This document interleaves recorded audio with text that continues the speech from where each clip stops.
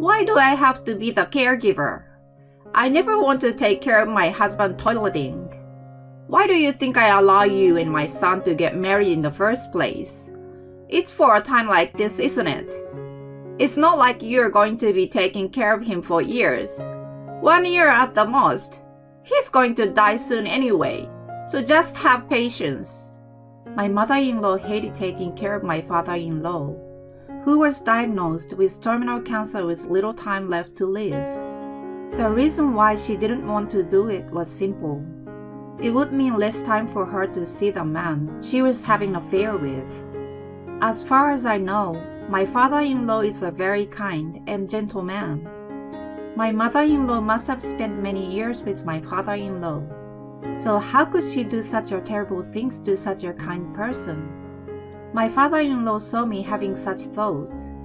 One day, as I was taking care of him, he said to me with a smile, Don't worry, I will take her to hell with me. A few days later, my mother in law really had to go through hell.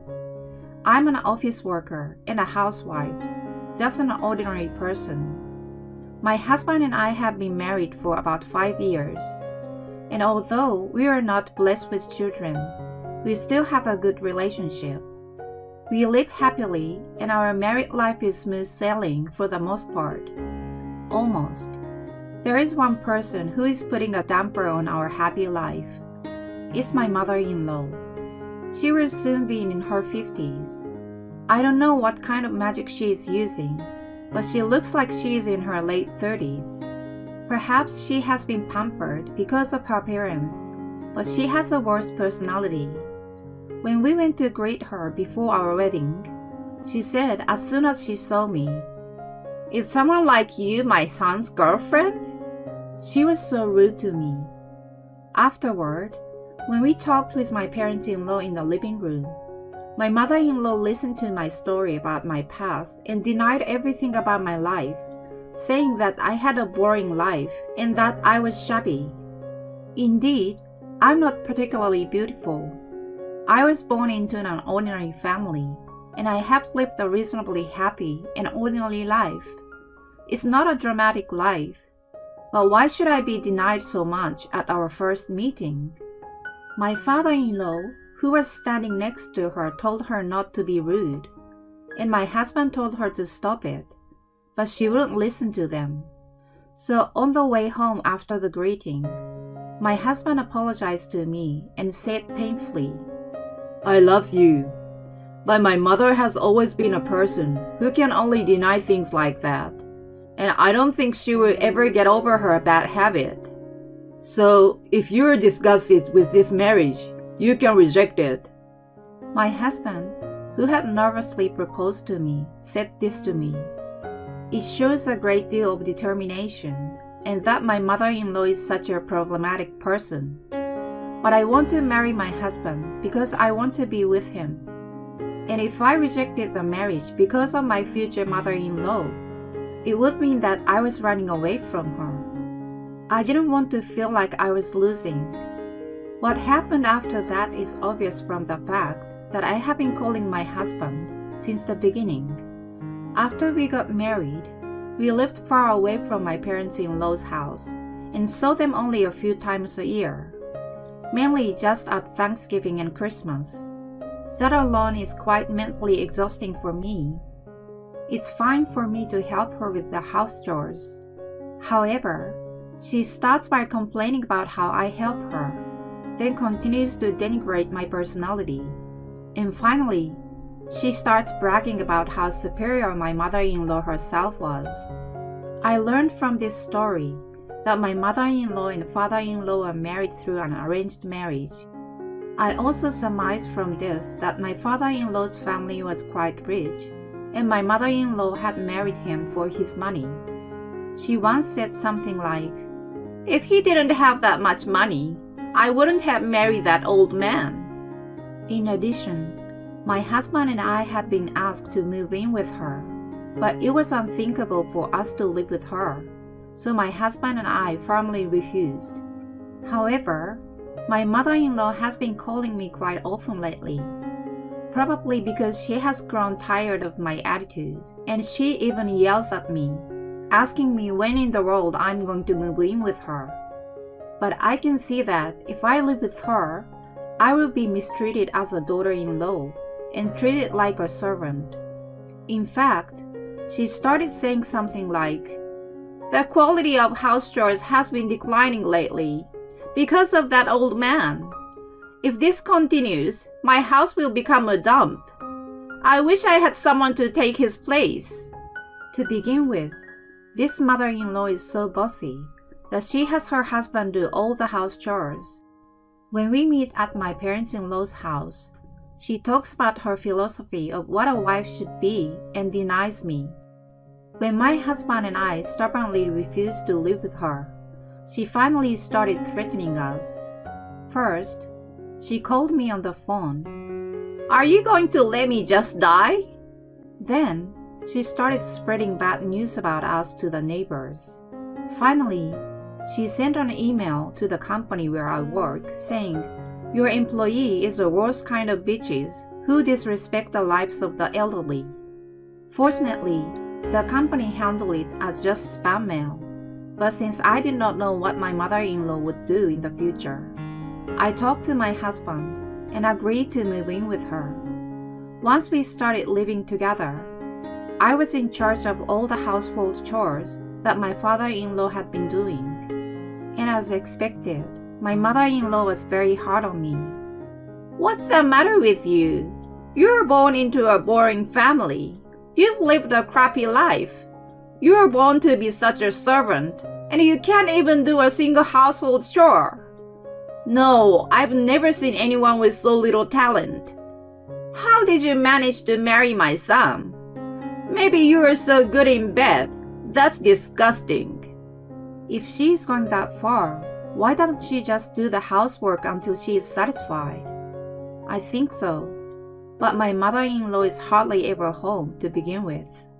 After moving in together, I noticed that she wakes up later than my father in law goes out before noon, and doesn't come home until late at night. At first, I thought she was probably at work, but it seems that is not the case. When I asked my father in law, he told me to let her do whatever she wants, and he helps me with my chores. My father in law and husband remained on my side even after we started living together. However, the more they took my side, the more my mother in law became offended. You know, no one in this house is on my side. What's wrong with me, a rich woman, picking on this poor little girl? She's a childless, worthless woman who is only good at night in bed. She must have gotten some kind of disease from some man in the past. That's why she can't have children. Even though I endured everything, I was hurt when she said that to me. The doctor had told me that I was less likely to have children than most women. My husband was so upset by my mother in law's vicious words. Don't be silly, you old bitch! My husband yelled at her. How dare you talk to me in that tone? Have you forgotten how much you owe me for giving birth to you? In fact, unlike this woman, I was able to have a child that's why you are here. In response to my mother in law's arrogant words, my father in law said, Stop! That's enough. He intensified his tone. I'm the one who had enough of you. If I hadn't married you, you would be living in an old and miserable life by yourself. And I went out of my way to marry you even though I was so popular. Who do you think saved you from dying in solitude? My mother in law would argue with each of us in such a precise and malicious manner. Thus, no matter how hard I tried, I could not escape from my mother in law's verbal abuse. One day, when I was wondering how long I could endure such a life, my father in law complained of poor health, and I accompanied him to the hospital. It turned out that he had terminal cancer. As it turned out, there was nothing more they could do. His life expectancy was one year at best. They say he even could die at any time. My father in law wanted to receive palliative care at home. He strongly wished to be at home rather than in a hospital, where he would die in solitude. We returned to my parents in law's house and held a family meeting. My father in law explained his condition, and I add to his explanation. My husband cries tears of grief. My mother in law, on the other hand, listens to the story with a terribly bored look on her face. She looks as if she is hoping the meeting will end soon. But right now, I'm not interested in what my mother in law is thinking. It is more important that my father in law spend as many days as possible and that I cooperate with my mother in law to take care of him. But my mother in law's reaction when I told her that was unexpected. No, it was actually expected. Why do I have to take care of him?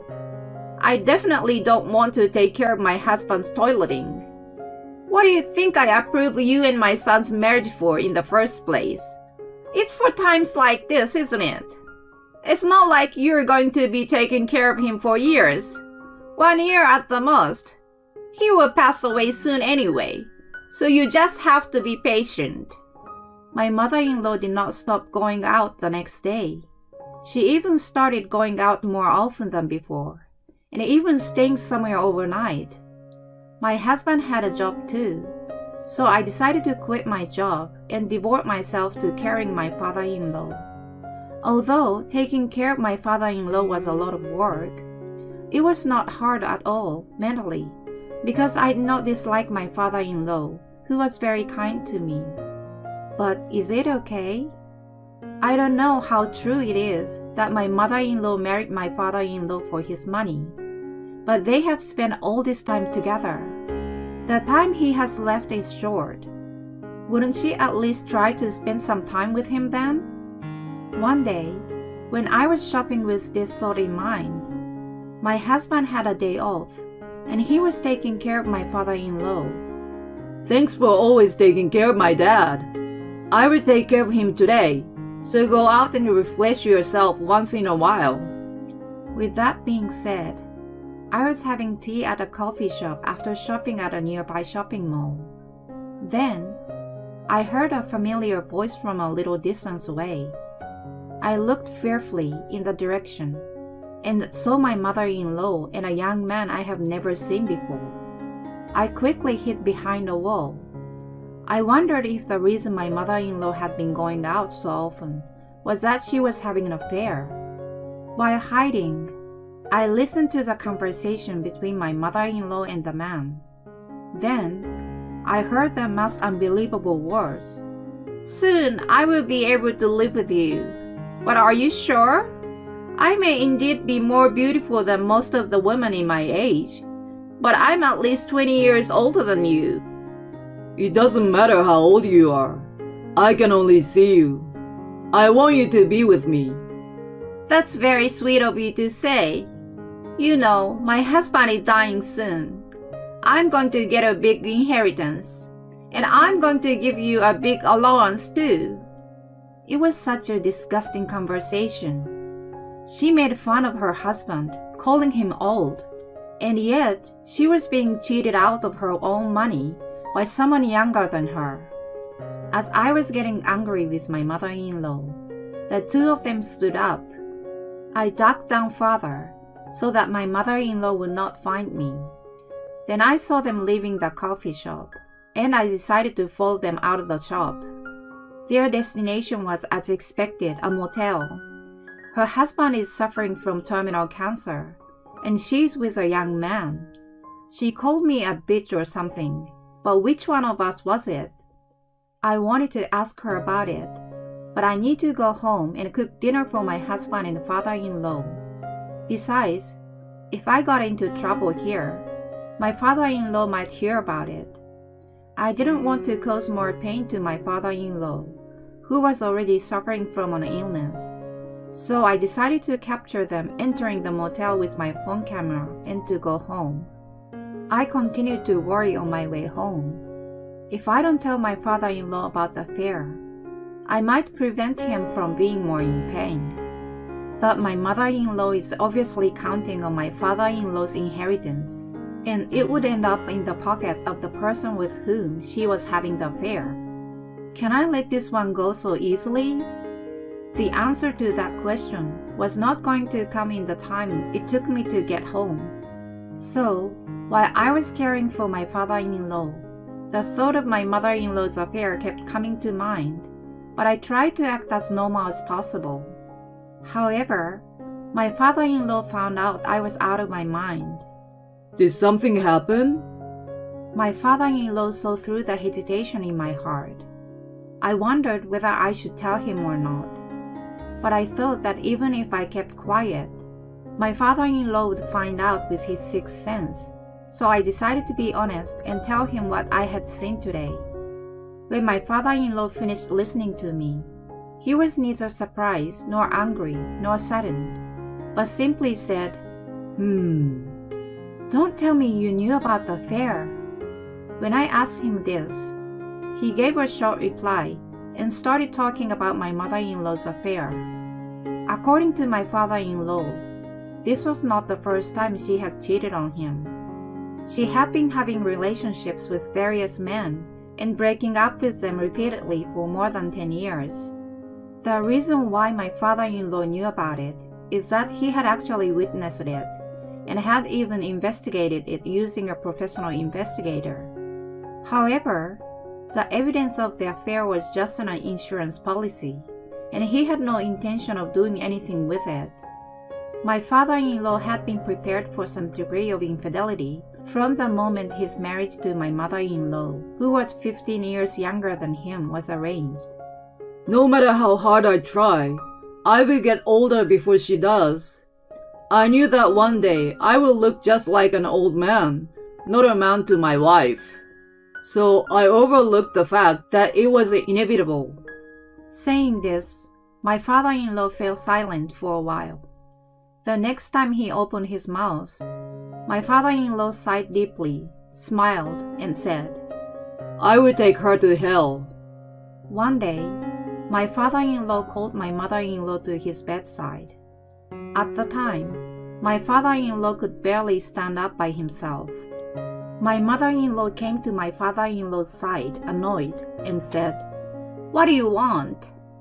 I handed my mother in law an envelope, as my father in law had asked me to do.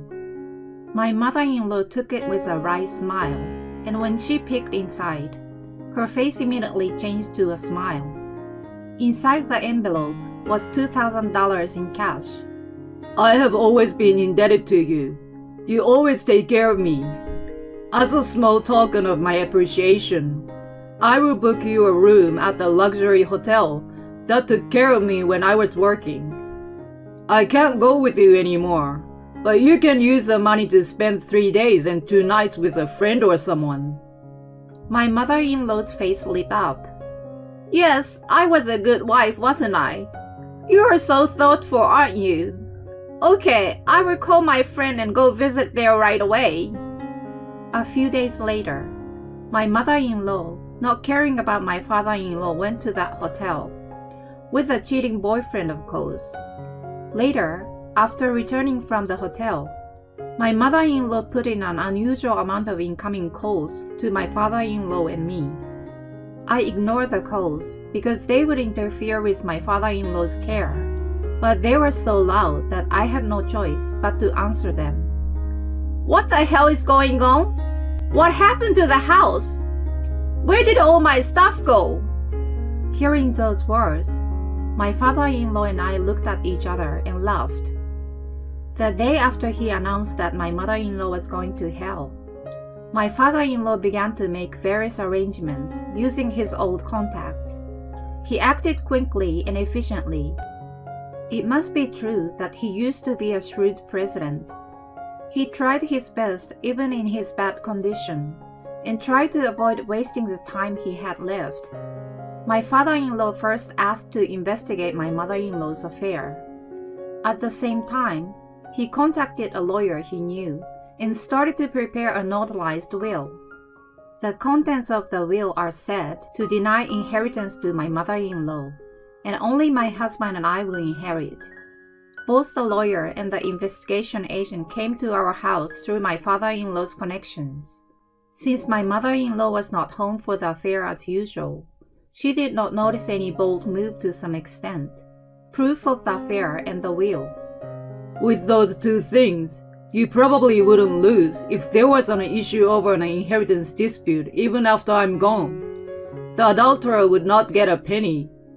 Furthermore, my father in law proposed that we move into a condominium that he owns. I'm going to give up this house with my wife. I don't have many good memories here.